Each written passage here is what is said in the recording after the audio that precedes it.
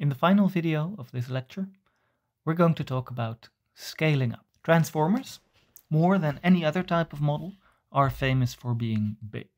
For some reason, this type of model, trained on natural language, really performs well in the regime of large data and big models. This is true to some extent for other domains and model architectures, but never quite as much as for transformers on natural language. We'll try to look at where this behavior comes from to the extent that we know, and perhaps more importantly, how these big models are actually trained. These plots are from a paper produced by OpenAI. It shows that when we train an autoregressive transformer on natural language data, and we increase the model size, the dataset size, and the amount of compute available in the right proportions, then the performance increases in a very predictable way. The takeaway for a lot of people, at least in this domain, was that so long as this pattern holds, there isn't much value in investing in clever methods.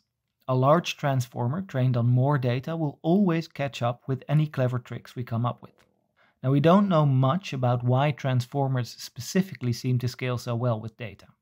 In part, it's just that language data is so readily available. Another aspect seems to be the structure of the data, since, for instance, visual transformers don't show quite the same effortless scaling behavior. Here are some more subtle points from the scaling laws paper.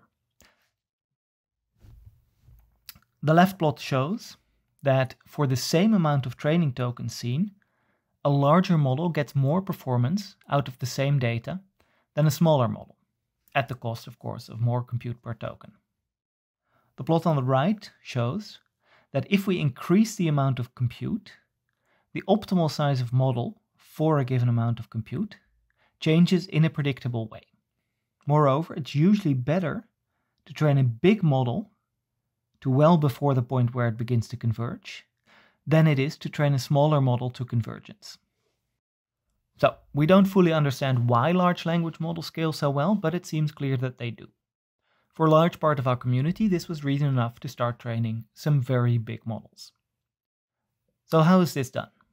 The models we've been talking about take hundreds of gigabytes to store. So far, we have always assumed that everything about our model fits into memory, the parameters, the optimizer state, and the full computation graph. With these kinds of models, that will no longer be possible. To start with, let's see how far we can get with one modern GPU. The largest GPU that you might commonly encounter at the time of writing is the A100, which has uh, 40 gigabytes of GPU memory. How big a model can we fit into that amount of memory? We'll take GPT-2 as a point of reference. It has 1.5 billion parameters, so it should take about 6 gigabytes to store, assuming that we use 32 bits per parameter. That suggests that we could comfortably store it in memory. However, we also need to store the gradients, this is another 6 gigabytes because it's the same amount of numbers. Next, we need to store the optimizer state, which for Adam requires a momentum term and a second moment term for each parameter. That means that even if we forget about all the intermediate values and the computation graph, we already require 24 gigabytes for a single parameter update. Here are some back of the envelope calculations for how much it takes to store various parts of the model and intermediate values during the forward pass. All of this adds about another 6 gigabytes. For most of these, we also need to store gradients, although PyTorch may be able to delete some of those when all the upstream gradients have been computed. In short, after all this, we'll be lucky if we can run the model for a batch size of 1. Note also that this is a big GPU. In the days when GPT-2 was actually trained, memory sizes of 12 gigabytes were much more conventional, so training on a single GPU wouldn't have been feasible in this way with a model that size. Before we start bringing in more GPUs, let's see how we can get more mileage out of a single one. One way we can fit more model onto one GPU is to represent each number, the parameters and the intermediate values, in 16 bits rather than 32 bits. At the top here, we see a representation of the 32-bit floating point representation. This is how decimal numbers are normally represented in computers and on GPUs. It consists of an exponent and a fraction. There are links in the slide annotations that explain exactly how this works. Now, for most parts of the network, it isn't really important to be extremely precise. A value of 0.1 may have broadly the same effect as a value of 0.125. But, due to the way this representation works, a value of 0.125 can actually be represented exactly in a very small number of bits, whereas a value of 0.1 cannot even be exactly represented in 32 bits. The idea is that if we switch to this 16-bit representation, we can represent our numbers slightly less accurately, but the performance doesn't degrade very much, and in return, we can store twice as many numbers. Now you can play around a little bit with how exactly you turn this 32-bit floating point representation into a 16-bit floating point representation, specifically in how, how many bits you use for the exponent and how many bits you use for the fraction. Uh, we see both being used in practice, and only for very big models do we see much of any difference. Now, when using 16-bit floating point numbers, there are some important points to pay attention to. First of all, some parts of the network, like the computation of the loss or the computation of nonlinearities, suffer quite badly when they are done in 16 bits. This is why we train in mixed precision. Usually we do the linear operations in 16 bits and nonlinear operations in 32 bits. That means that all the weights and the intermediate values are in 16 bits and are stored in 16 bits, but for certain operations they are cast up to 32-bit precision before the operation and back down to 16 again after. Since matrix multiplications are almost always the bottleneck in any neural net, we spend most of our time performing the matrix multiplications. We, so, we still save a lot of time and memory by performing these in low precision. There are some other things to take care of. First of all, NaNs, not a number, some part of the computation resulting in not a number, are a lot more likely in mixed precision. In full precision, we usually stop our training process if we get a not a number and maybe change the learning rate or in some other way debug our training process. In mixed precision, if we get a loss that is not a number, we simply skip the batch and move on to the next batch. Finally, the reduced precision may cause some gradients to underflow to zero as they're backpropagating, which causes all upstream gradients after that to become zero as well. The solution is to scale up the loss before starting the backpropagation, and then to scale the gradients back down after they've been computed. In PyTorch, all the necessary adjustments can be made with a few wrappers around the optimizer and the model computation and loss computation. The result is that we use roughly half the memory and that the computations in low precision are also a lot faster. After we switch to mixed precision, we may still be left with the situation that we can only train with very small batches, perhaps of only one or two instances. The problem is that this may lead to very unstable training unless we set a very low learning rate. The solution is very simple. For a concrete example, imagine that we can only train on a single instance at a time in the memory we have, but we would like to use a batch size of 32. Now the gradient over the batch of 32 that we would like to use is just the gradients of all the 32 single instance batches summed or averaged together. This means that we can just collect the gradients over 32 batches in 32 separate forward and backward passes and sum them as we go. The pseudocode here shows how that is done. We initialize our gradients at zero, we loop over the data and compute the gradients. Whenever we compute a gradient, we add it to the gradients we've already computed. And every 32 steps, we take the gradients we've collected, perform an update, and then reset the gradients to zero. Of course, this is much slower than training a smaller model with a single gradient update step for every forward backward, but that is the way we train big models. We trade off compute for memory.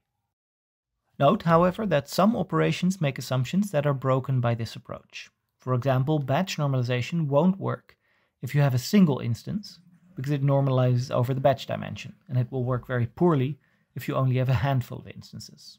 For this reason, large models tend to use layer normalization rather than batch normalization.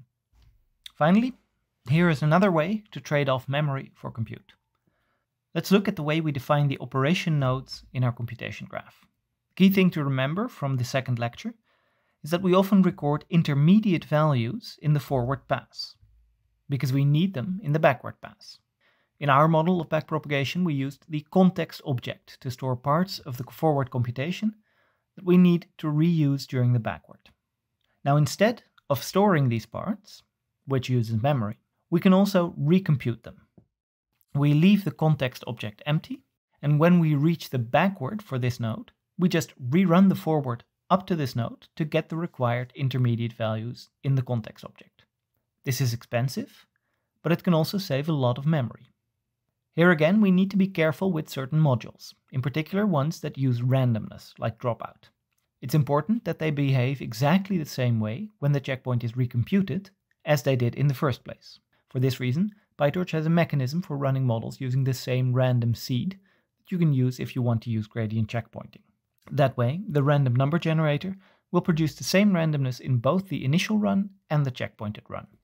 Now, once we've exhausted how much model we can cram into a single GPU, it's time to start looking into training with multiple GPUs. There are several possible configurations for this. We could use a single computer called a node with several GPUs. In this case, we need to communicate internally between the GPUs to coordinate what they're doing over the internal buses of the computer. This allows for relatively quick communication, but we're usually limited to about 4 to 8 GPUs. If we want as many GPUs as money can buy, we'll need to distribute them over different machines. The simplest option is one GPU per machine. In this case, the communication between different training processes goes over the network, which is much slower than in the first case. A final option is to have a network of nodes with multiple GPUs each. This gives us the best of both worlds, fast communication between GPUs that are on the same machine and the opportunity to buy as many GPUs as we want. But it complicates the question of synchronization. If we want to make good use of the high communication speeds between GPUs on the same nodes, we should let them communicate more often than we communicate over the network. We will leave that question to the implementers of distributed training libraries. We will only assume that we have multiple acceleration devices, usually GPUs, each with their own limited memory, and that there is some sort of way of communicating between them. The main question is what data and model code should we give to each device, and how should we communicate between them to end up with one trained model. Communicating between nodes or between GPUs is complicated. We'd like to abstract all of that away as much as possible. Luckily, there are a few primitive operations that we can build everything on top of. The first is called all reduce. It works as follows. We have a bunch of processes working in parallel, and at some point, the all reduce stops all processes, retrieves a value from all of them, and applies a reduction to the set of values. This is simply an operation that takes a set of values as input and returns a single value computed from them. The reduction is usually a simple operation like taking the sum or the mean. After the reduced value is computed, the same value is given back to each of the processes. With this definition in place, the people who understand GPUs and networking can get to work on implementing it efficiently. A naive way to do this would be to collect all values in a central process, compute the reduction, and distribute it back. But there are many clever ways of making it more efficient for different situations. All reduce is implemented in many libraries for parallel computation like MPI, NCCL, and Gloo. This means that so long as we can frame our method in terms of local computations combined with an occasional all reduce, we can just call one of these libraries to deal with the technical details for us, and we never have to worry much about how networking or GPU interconnects work. For example, here is what an all reduce looks like with taking the mean as the reduction operation. We take the mean over these three outputs, giving us a value of 4, and we send that value back to each of the three processes. Note that in practice, the values that we're talking about are often large tensors rather than scalars, but so long as they all have the same size, we can still take the mean of a collection of tensors. Another primitive we will need is all gather. This is essentially an all reduce, where the reduction operation just takes the different values and collects them in a list. This list is then sent out to all processes. Note that unlike the sum or mean all reduce, this operation substantially increases the memory required by each process. Even if they replace the result of the operation by the value they provided at the start. That is, in a sum all reduce, for the all gather, doing this always replaces one value by n values. This can be important if the values are large tensors. Finally, there is reduce scatter. This is a kind of reverse all gather in that it starts with a list per process and ends with a single value per process. If these are tensors, you can also say that it starts with large tensors and ends up with tensors that are one third the size. The idea is that we reduce over the lists that the processes provide, resulting in a single list. In this example, we use the sum operator to reduce, but any other reduction would work too. We do this by breaking the list up in equal chunks, one for each process. In this example, each chunk consists of just one number. We then apply the reduction to each chunk over all the processes. For example, we sum the numbers in all of the first chunks over all three processes. And the result is then returned to the corresponding process. That is, process 1 gets the sum of the first chunks, process 2 gets the sum of the second chunks, and so on. There are more of these primitives used in parallel programming, but these are the only three we will need. With that, we can start looking at a few popular approaches for parallelizing neural network training over different nodes or different GPUs. If the model fits entirely onto a single GPU, possibly just for one batch of one instance, the simplest approach is data parallel training. We simply make n copies of the model, one for each GPU, and then we split the data along the batch dimension. That is, if a given batch has 18 instances and we have three GPUs, we feed the first six to the model on the first GPU, and we feed instances 7 to 12 to the model on the second GPU, and we feed instances 13 to 18 to the model on the third GPU. To simplify things, we've assumed here that we have a model containing three transformer blocks. None of the algorithms we discuss are specific to the transformer, and they translate trivially to other architectures, but we'll stick with the transformer to keep things concrete. We perform a forward and backward pass on each GPU in parallel. This is a purely local operation. Each GPU can do its own job without worrying what's happening on the other GPUs. After the backward, we have a set of gradients for the whole model on each GPU. Each GPU has seen different inputs and labels, so these gradients are all different. We then apply the all reduce to the gradients, taking their average over all three copies and distributing this average back to each GPU. This average is the gradient over the whole batch of 18 instances. With the gradients now synchronized, the GPUs can each apply an optimizer step to the weights of their model. Because the weights are synchronized, we know that they will apply exactly the same step, even if they use momentum or Adam. In fact, data parallel training, when you do it like this, is provably equivalent to what you would get with a single GPU if it were big enough to fit the whole batch. To achieve data parallel training very simply in PyTorch, you can use the data parallel wrapper. You simply create a model as normal and feed it to the data parallel class, which acts as a model wrapped around your model. This does several things behind the scenes. First, it creates copies of your model on all available devices. Then, when a forward is called on the data parallel wrapper, it splits the batch and sends each of the pieces to one of the GPUs, so that each copy runs a forward in parallel on a different slice of the data. It then concatenates the results of these different forwards and returns the results of the wrapped model. This is a tensor. This is a tensor here called output that resides on device 0. The rest of the computation of the loss happens on device 0 over the whole output batch. The computation graph is constructed over all devices, so it automatically computes gradients for all copies in parallel. After the backward, a special hook, registered by the data parallel wrapper, runs the all reduce over the different gradients of the different copies, ensuring that all copies now have the same gradient. All parameters of all copies were registered with the optimizer, so it automatically updates all models. This extreme simplicity in the implementation comes at a cost. To start with, It would be more efficient to have each copy compute its own loss on a slice of the target batch as drawn in the previous slide, rather than doing it for all copies on device 0.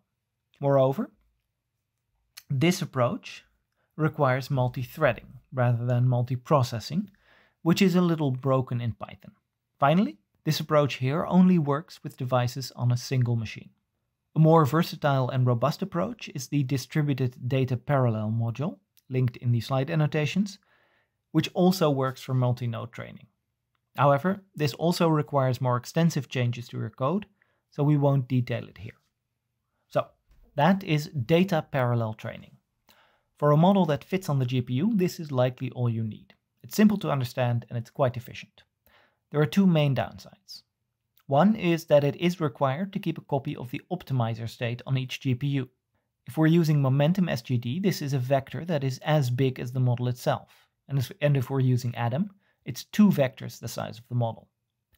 These are guaranteed to be exactly the same on each GPU, which means we're storing a lot of redundant information. The other issue is that the model may not fit on the GPU in its entirety.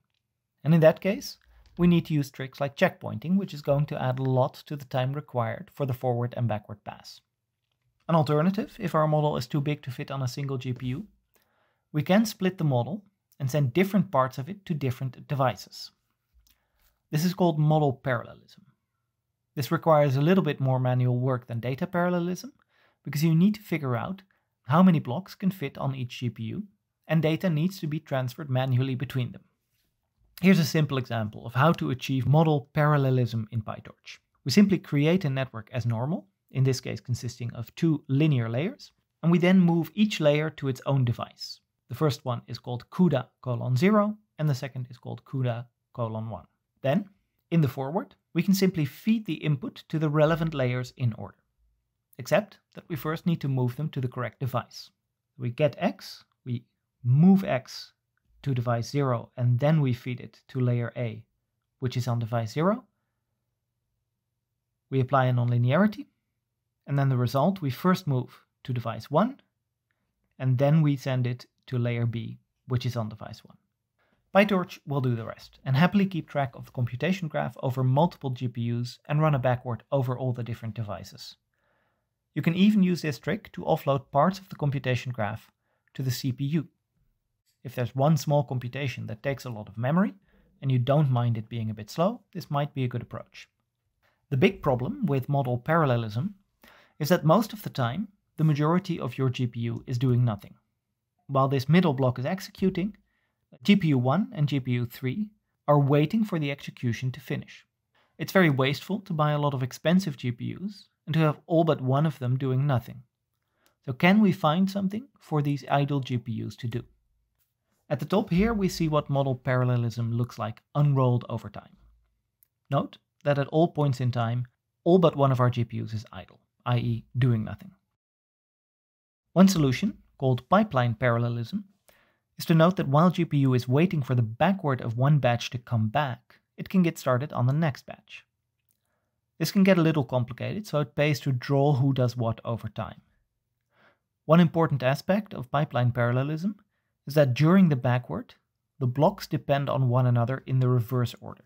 That means that if we get started on batch 2 while batch 1 is still in progress, GPU 3 should take care of batch 2 first, so that we can start the backward on batch 2 before the backward on batch 1. Note also that these are micro batches. That is, we do one gradient update over all three of these batches. At the end, to the right of the figure, all the gradients are summed over all three batches, and one gradient step is applied. A great benefit of pipeline parallelism is that for each block, the parameters, the gradients, and the optimizer states for the parameters of that block only need to live on the GPU holding that block. This means that we get no redundant copies of any part of the model or the optimizer. The downside is that even with pipeline parallelism, we cannot avoid a substantial amount of GPU idle time in the middle. This is sometimes called the bubble. We can make the bubble a smaller proportion to the total compute by increasing the number of batches, but we can only do that by seeing more data per single gradient update. We get one bubble for every update we make. In general, we don't want to reduce the number of updates too much. We usually prefer to make many noisy gradient updates rather than fewer very accurate gradient updates. So one final thing we can try is to split or shard the model as well as the data. This is referred to as fully sharded data parallelism, or FSDP. The key is to shard each layer into equal parts. That is, each GPU gets a copy of each layer, but only concerns itself with storing the parameters and gradients of one third of that layer, or one nth if we have n GPUs. We call this the part of the model that is stored persistently. That is, from one forward pass to the next, the GPU keeps these weights in memory and indeed is responsible for remembering these weights. Across the three GPUs, each parameter is stored persistently in exactly one device. If the GPU needs access to the rest of the layer, it retrieves those parameters from the other GPUs. We call this transient storage. The idea is that the GPU is not responsible for these parameters, so it can retrieve them when needed and then delete them afterwards. Another GPU is responsible for them, so they will always be available when needed. How exactly you shard your layers depends on the details of the model. For a standard transformer block, we can note that almost all of the parameters are part of a linear layer, either the feed-forward part or in the key query and value projections of the self-attention. For these, we can just slice the weight matrix and bias vector into n chunks, where n is the number of GPUs we have available. That is the key idea, that each GPU maintains the parameters, the gradients, and the optimizer state for only the shard of the layer that it's responsible for. This is what it keeps in memory and updates when the time comes. Of course, to compute the forward and backward, the GPU does need the rest of the parameters and the rest of the gradients. These it retrieves from the other GPUs whenever it's time to compute a forward or a backward for this block. This needs to fit in memory during the computation of the block, but after the forward or backward is computed, we can forget about them again. We only need to retain the parameters, gradients, and optimizer states for our shard of the parameters. Here's a detailed diagram of what that looks like for the first layer. At the start, each GPU contains its own shard of the first layer. The rest of the parameters are unknown. We perform an all gather so that each GPU now has a full copy of the weights of the first layer. Next, we collect the input for each GPU. In the first layer, each GPU gets a slice of the current batch of data. Later in the model, these are the outputs of the previous layers. The key thing to note is that each GPU computes the layer with a different input. This means that they will get different outputs and ultimately different gradients. Note the difference between the parameter tensor and the input and the output tensors. The parameters need to be completed before the forward computation can be done. The input and output are split along a batch dimension, so these do not need to be completed we can apply the layer to a slice of the input and get a corresponding slice of the output. This is because the computation is independent over the batch dimension. The computation over one instance of the batch does not depend on what the values of the rest of the batch are. That's not the case for any of the dimensions of the parameter tensor. We need to know the whole parameter tensor in order to compute any part of the output. This is why we apply the all gathered to the parameters, but not to the input or output. After each GPU has computed its slice of the output, we no longer need the full parameters of the layer. Each GPU deletes all the parts that it is not responsible for and keeps only its own shard, freeing up our memory for the computation of the next layer. We keep going in this way for all the layers. Until we get to the loss, we compute the loss and then we start the backwards. As the loss propagates, it hits each layer in reverse order to the forward. That means that when we hit the backward for our layer, we can assume that the gradients for our output have already been computed.